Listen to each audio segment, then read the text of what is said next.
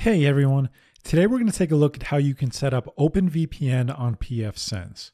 So there are two things that I want to mention before we get started, and the first is that I have written instructions for all of this in the description of the video, and the second is that this will be the point of view from a home user. So I know that pfSense is used in a lot of business environments. This video tutorial will mostly look at it from the point of view of a home user. So that doesn't mean that it wouldn't work in a business environment, just that it's kind of tailored to the home user. So please keep that in mind as you're watching this.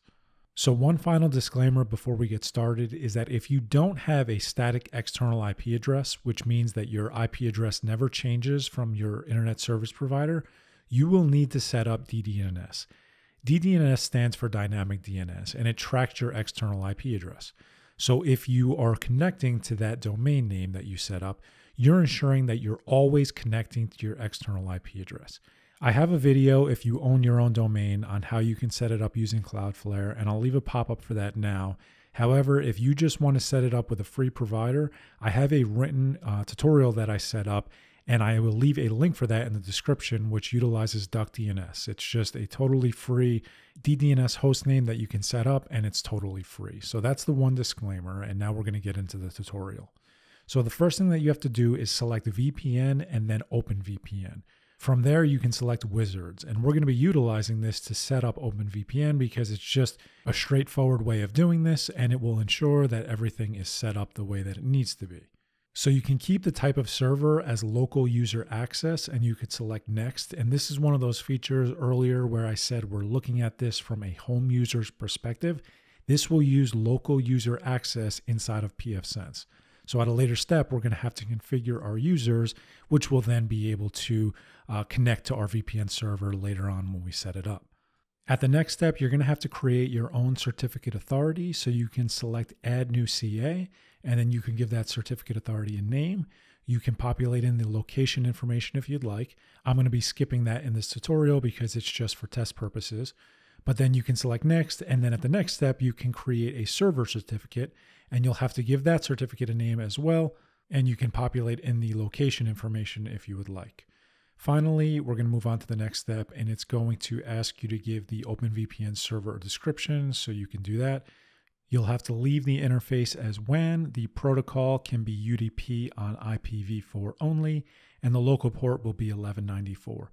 So, the one thing I want to say about pfSense is there are a ton of settings, and you can really configure this a lot but there are also a lot of settings that you don't really have to touch. So we're going to be skipping over a lot of them. That doesn't mean that you can't look a little further into them and customize it a little deeper if you'd like. However, for the generic OpenVPN setup, they're just not required. So all of the cryptographic settings can stay as default. We're going to skip right over those. And in the tunnel settings, you have to ensure that you select a tunnel network that is not currently in use.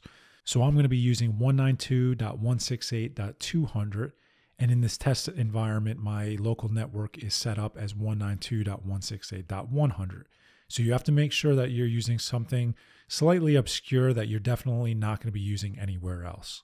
Now, in that local network section, you have to enter in your LAN subnet. So this is going to be the subnet that you want accessible when you connect to OpenVPN. So if you want to be able to access your entire local network, you have to make sure that the entire subnet is here. So for that reason, I'm going to be setting mine as 192.168.100 because that is my local network's subnet and I'll be able to connect to any device on that subnet. If you want to change the concurrent connections, you can do that here. That's just the total number of people that are allowed to connect at any given time. And the last thing that you could take a look at is the DNS server. So if you want to use specific DNS servers, you can specify them here. Neither of those options are mandatory, so you can proceed whenever you're ready. And at the next step, you're going to have to make sure that you select both of these options here. And it's just going to create a firewall rule and an OpenVPN rule. Um, and I'll show you that a little later after this is all configured, just show you the two rules that it creates. But these are the rules that are going to ensure that you're able to connect to OpenVPN. So you can select next and then finished. And at this point, OpenVPN server is fully configured. Now you can't connect to it yet because we still have to set up the client settings. However, the server settings are fully set up. So there are two things that we have to do in order to proceed with the client settings. And the first is that you have to ensure that you install the OpenVPN client export package. You can get to that by selecting System, Package Manager, Available Packages, and then you can search for it there. This is just going to allow us to quickly export our configuration file, which we'll be doing in a little bit. The second thing that you're going to have to do is you have to ensure that you have a user account set up with a user certificate created. So you can go to System, User Manager, Add. You can select a username, password, and a name, etc. And then at the bottom here, you're going to see click to create a user certificate. From there, you can give the certificate a name. I normally just use the username plus uh, OpenVPN certificate, but you can set it as however you want. And you have to ensure that you use your OpenVPN certificate authority that we created earlier. So for me, that's OpenVPN underscore CA. The rest can stay as default and you could save this. Now, you have to understand that for every single user that you want to utilize your VPN, you have to set up a user account for them and you have to create a certificate for them the same way that we just did. Now, this is important because that certificate will exist in every configuration file that we go to export here in a second, and everyone will have their own unique certificate. So you're going to have to ensure you do that for every individual user. So now with the OpenVPN client export package installed and the uh, user account and certificates created, we can go through and export the configuration file. So in pfSense, you can select VPN and then OpenVPN, and then you can go to client export. Now, there are a few things that you want to specify here, and the first is the host name. So by default, it's going to have interface IP address, and that's going to be your WAN's IP address. Now, if you have a static external IP address, that's fine, but the majority of home users will have a dynamic IP address assigned by their ISP. In that case, that's where you're going to have to set up DDNS. So if you did set up DDNS on pfSense here, you can go through and you're going to be able to select it in the hostname resolution. You should see the exact name of your DDNS hostname.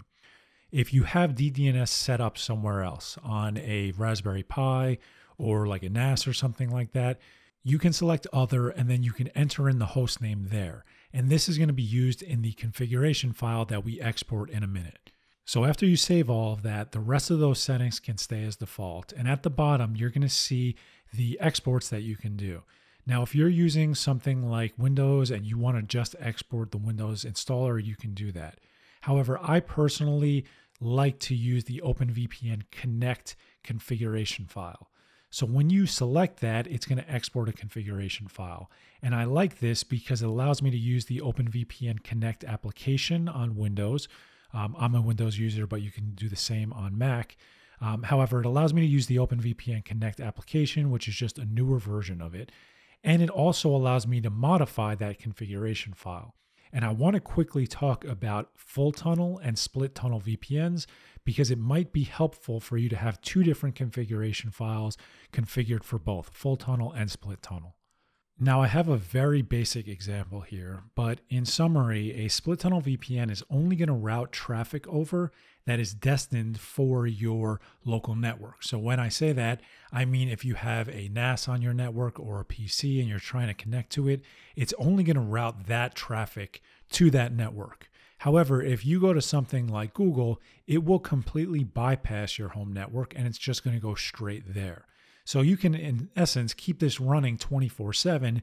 And if you ever have to access anything on your home network, it will automatically go through that VPN tunnel. But if you try to access any of your other services or websites that you normally use, it will automatically use the network that you're currently connected to.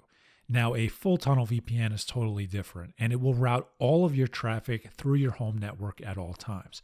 So if you use a, uh, a local device's IP address or you use something like Google, it's automatically going to connect to your house through that secure tunnel and then it will access that resource. So it might find the resource on the local network and it doesn't have to go any further, or it might have to go one step further out to the internet to access whatever website you're trying to get to. Now, the big takeaway here is that your external IP address on a split tunnel VPN will be whatever network you're currently connected to.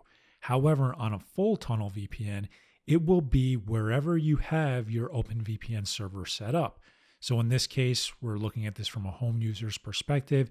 It would have the external IP address of your home network.